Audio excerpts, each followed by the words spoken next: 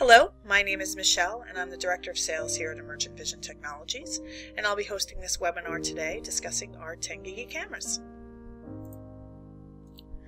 Today we'll be going over our company background, what is 10 GigE, the HR series, the HT series, accessories, products coming soon, compatible third-party products, applications, frequently asked questions,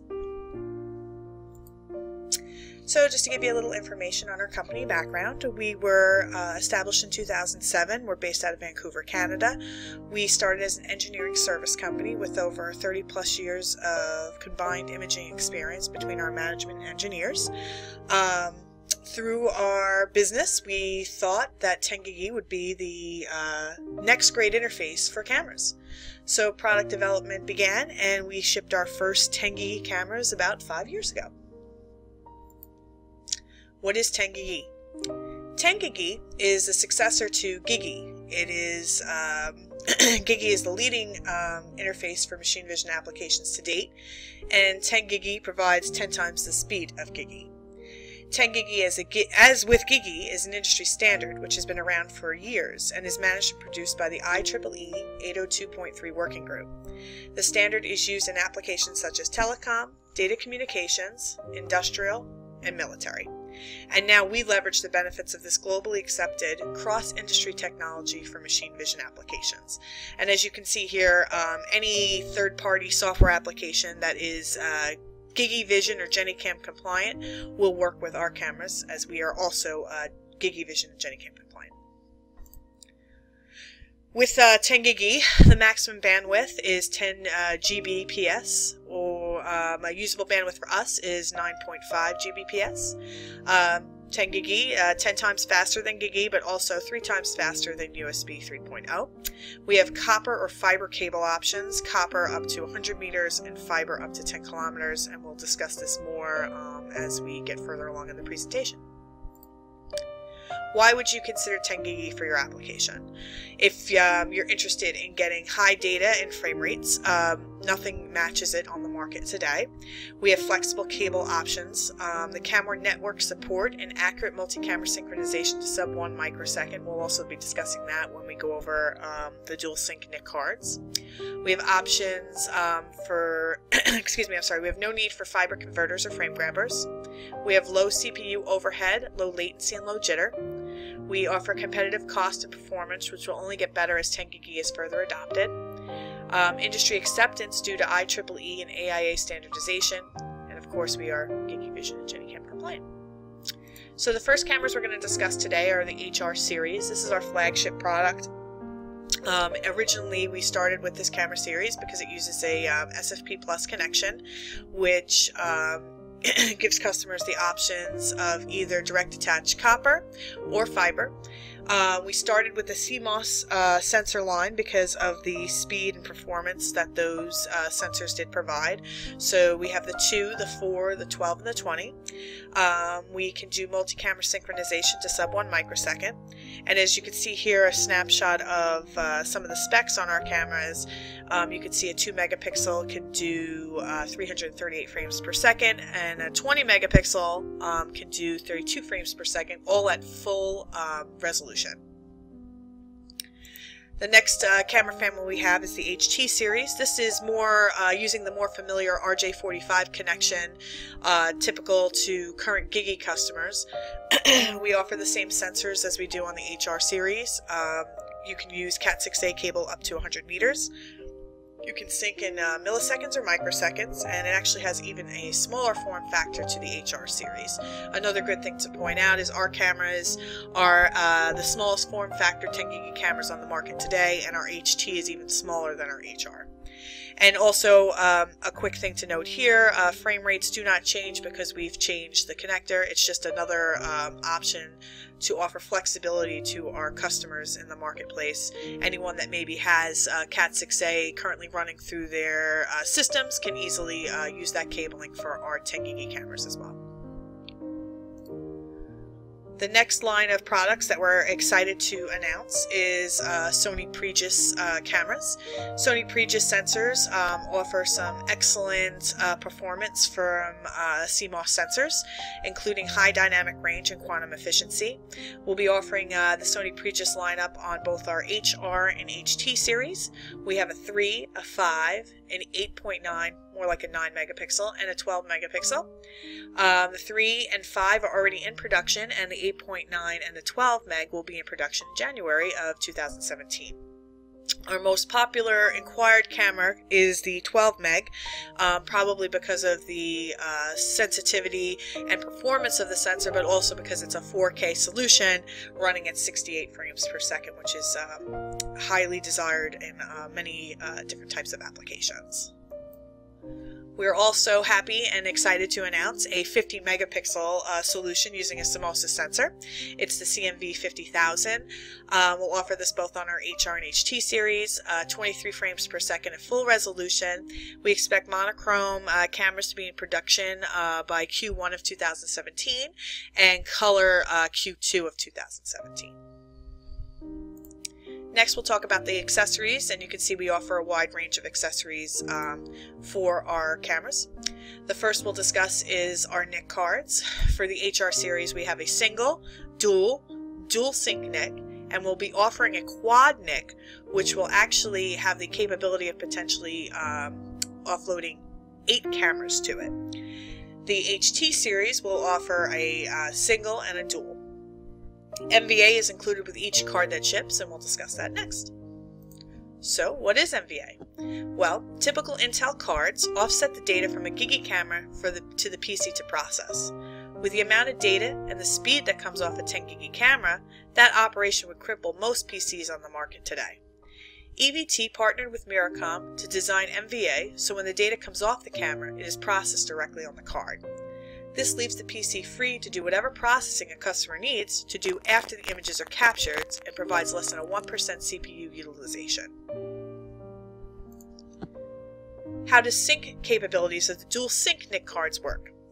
So with the dual sync NIC cards, you have the option of two cameras per card and um, up to four to eight cards per PC. Currently, we have a customer that uses um, eight cards in a custom server they've built, 16 2 megapixel cameras running at 338 frames per second each, and synchronizes those 16 cameras using an IRIG box and is able to synchronize them to sub 1 microsecond.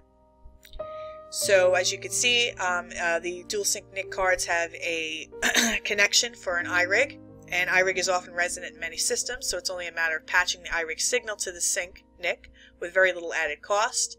And it's a great alternative uh, to external triggering because it limits, eliminates the wires that would have to run between cameras. Some things to note, uh, the sync card is only available for the HR series. Um, you can't use direct uh, attached copper cables, has to be fiber.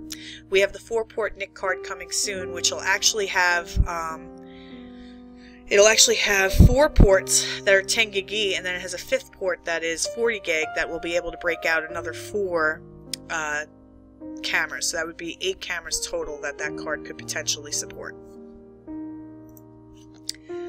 What are the other options to syncing our cameras outside of the dual sync NIC cards? So the option one is simple time stamping frames at the application level.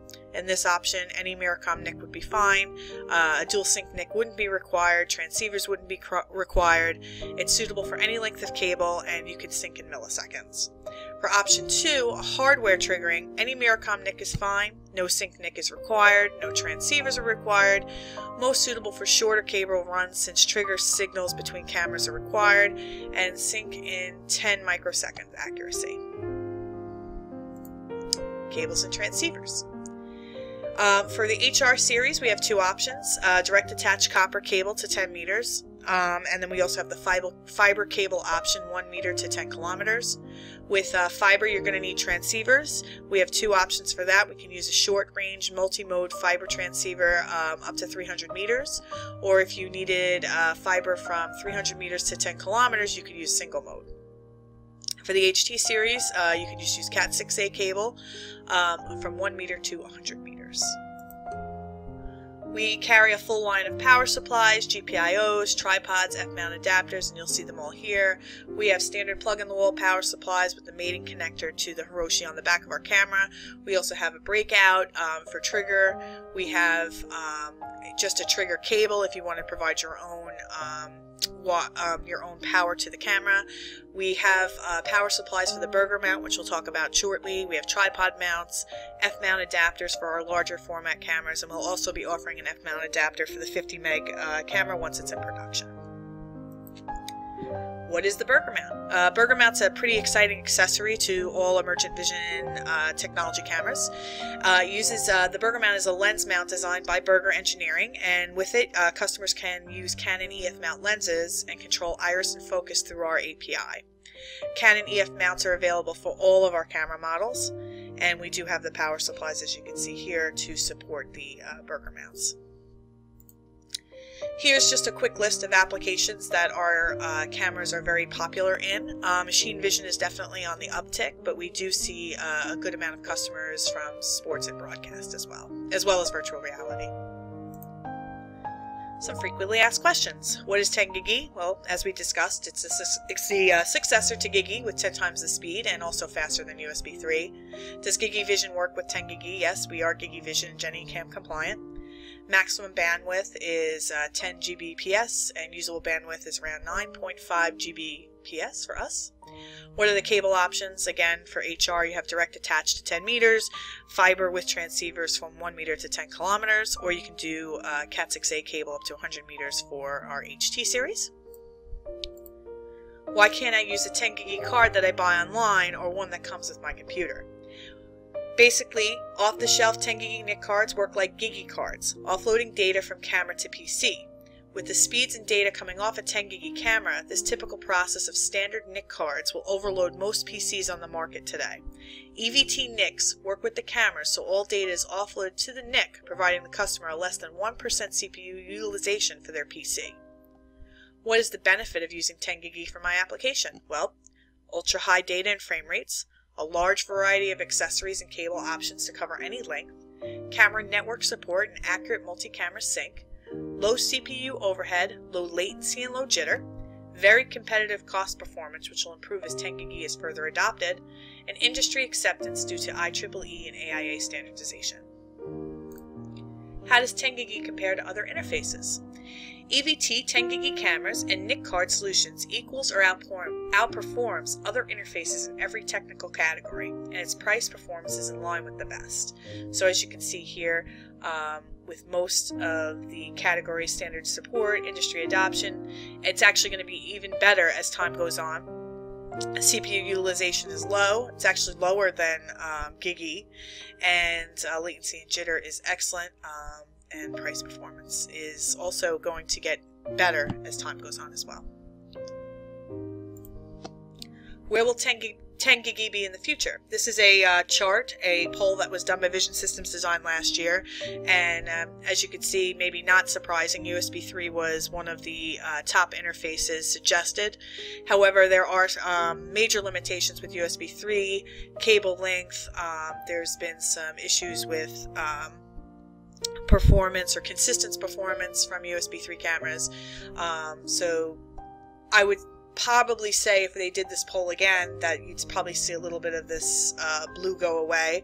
Red uh, represents GigE, which makes sense because GigE is the most popular um, interface for machine vision cameras on the market today.